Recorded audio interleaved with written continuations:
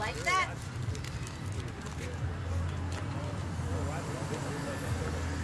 Whoa.